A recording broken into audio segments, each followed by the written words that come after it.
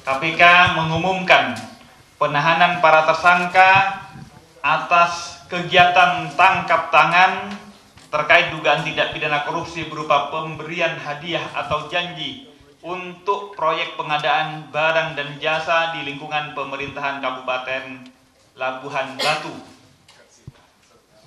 Bagaimana telah diketahui, hari ini kami akan menyampaikan perkembangan informasi atas kegiatan tangkap tangan atas dugaan tidak pidana korupsi berupa pemberian hadiah atau janji untuk proyek pengadaan barang jasa di lingkungan pemerintahan Kabupaten Labuhan Batu. Sebagaimana telah kami sampaikan sebelumnya, kami telah melakukan kegiatan tangkap tangan pada hari Kamis tanggal 11 Januari 2024. Tim KPK telah mengamankan 10 orang di wilayah Kabupaten Labuhan Batu, Sumatera Utara. Pihak-pihak yang telah kami amankan sebagai berikut. Pertama, Saudara EAR, Bupati Labuhan Batu. Kedua, Saudara SR RSR, anggota DPRD Kabupaten Labuhan Batu. Ketiga, Saudara HEH, Kepala Dinas PUPR Labuhan Batu. Keempat, Saudara MHR, Kepala Dinas Kesehatan Labuhan Batu. Kelima, saudara FS alias ABE swasta. Keenam, saudara ES alias ASIONG swasta juga. Ketujuh, saudara AK swasta. Kedelapan, SS ASN pada Pemkap Kabupaten Labuhan Batu. Kesembilan, saudara EB, staf RSR. Kesepuluh, TR swasta. Kronologi dari kegiatan tangkap tangan.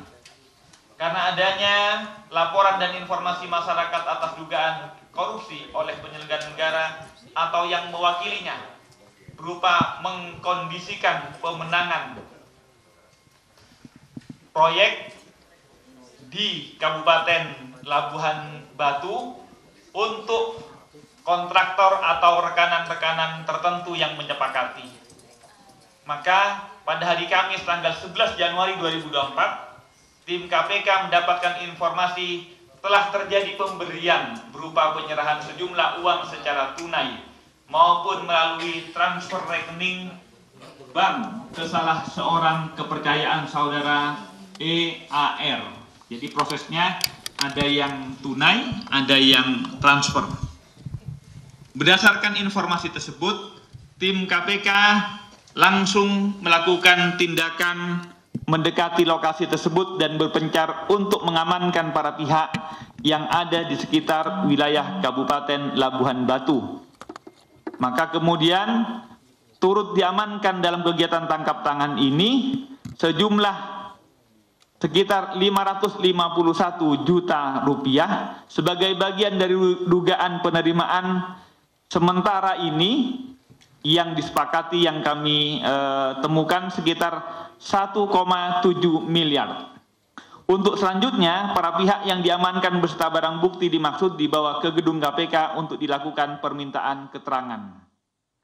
Atas laporan dan pengaduan masyarakat tersebut kepada KPK, yang kemudian kami tindak lanjuti melalui pengumpulan bahan dan keterangan disertai informasi sehingga dalam proses pemeriksaan dan telah dilakukan pembahasan ekspos di kedeputian maupun di pimpinan sehingga perkara ini kami sepakati naik ke tahap penyidikan berdasarkan kecukupan alat bukti sehingga kami pun menetapkan para tersangka dalam kegiatan tertangkap tangan ini. Saudara pertama EAR Bupati Labuhan Batu. Dua saudara S RSR anggota DPR di Kabupaten Labuhan Batu. Tiga saudara ES swasta. Keempat saudara FS swasta. Konstruksi perkara ini. Bagaimana kita ketahui sebagai salah satu kabupaten di wilayah Sumatera Utara, Kabupaten Labuan Batu menganggarkan pendapatan dan belanja untuk tahun anggaran 2023 dengan rincian anggaran pendapatan sebesar 1,4 triliun. Dan anggaran belanja juga sebanding yaitu 1,4 triliun. Sedangkan untuk APBD tahun 2024 dengan rincian anggaran e, berbeda sekitar 32 miliar ya. 1,432 dengan belanjanya juga 1,432. Jadi hampir hampir tidak begitu banyak perubahan, hanya sekitar perubahan 32 miliar. Berdasarkan anggaran tersebut, Saudara ER selaku Bupati Labuan Batu kemudian melakukan intervensi dan ikut secara aktif berbagai proyek pengadaan yang ada di SKPD di Pemkap Kabupaten Labuan Batu. Proyek yang menjadi atensi Saudara EAR di antaranya pada Dinas Kesehatan, Dinas PUPR, dan khusus untuk Dinas PUPR yaitu proyek lanjutan peningkatan jalan Sei Rakyat, Sei Berombang, Kecamatan Panai Tengah, dan proyek lanjutan peningkatan jalan Sei Tampang sampai ke Sido Makmur Kecamatan Bilah Hilir atau Kecamatan Panai Hulu dengan besaran nilai pekerjaan kedua proyek tersebut sebesar 19,9 miliar. Saudara SR dipilih dan ditunjuk oleh oleh saudara ER sebagai orang kepercayaan untuk melakukan pengaturan proyek disertai menunjuk secara sepihak siapa saja pihak kontraktor yang akan dimenangkan. Besaran uang dalam bentuk fee yang dipersyaratkan bagi para kontraktor yang akan dimenangkan yaitu 5 sampai 15 persen dari besaran anggaran proyek. Untuk dua proyek di Dinas PUPR dimaksud kontraktor yang dikondisikan untuk dimenangkan sebagai e, pekerja atau kontraktornya yaitu saudara FS dan saudara ES. Pada sekitar Desember 2023, EAR melalui orang kepercayaannya yaitu saudara RSR selanjutnya meminta agar segera disiapkan sejumlah uang yang diistilahkan kutipan atau kirahan dari para kontraktor yang telah dikondisikan untuk dimenangkan dalam beberapa proyek di Dinas PUPR. Jadi sistemnya ada yang ijon, ada yang kemudian di akhir. Penyerahan uang dari saudara FS dan saudara ER pada RSR kemudian dilaksanakan pada awal Januari 2024 melalui transfer rekening bank atas nama RSR dan juga melalui penyerahan tunai. Sebagai bukti permulaan, besaran uang yang diterima saudara EAR melalui RSR sejumlah sekitar 551,5 juta sebagai satu kesatuan dari 1,7 miliar. Jadi ini uang muka saja.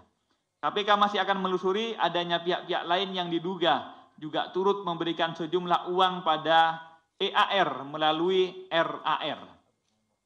Selain itu, KPK terbuka untuk terus melakukan pendalaman lebih lanjut kaitan adanya dugaan korupsi lain dalam penanganan perkara ini ke depannya.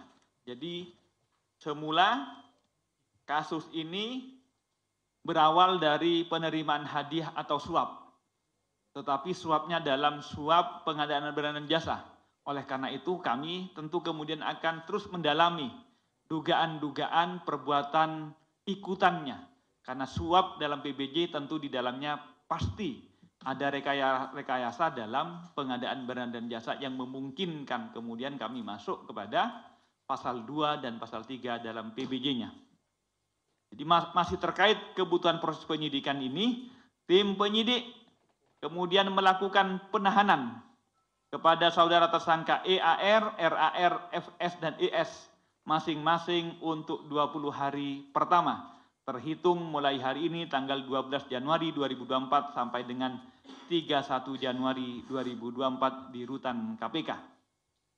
Tersangka saudara EFS dan ES sebagai pemberi disangkakan telah melanggar pasal 5 ayat 1 huruf A atau B atau pasal 13 Undang-Undang 3199 Yungto 20 2001 tentang pemberantasan tidak pidana korupsi Yungto pasal 55 ayat 1 ke 1. Sedangkan tersangka saudara EAR dan saudara RSR sebagai penerima disangkakan melanggar pasal 12 huruf A atau huruf B atau pasal 11 Undang-Undang 3199 Yungto 20 2001 tentang pemberantasan tindak pidana korupsi Yungto pasal 55 ayat 1 ke 1 KUHP.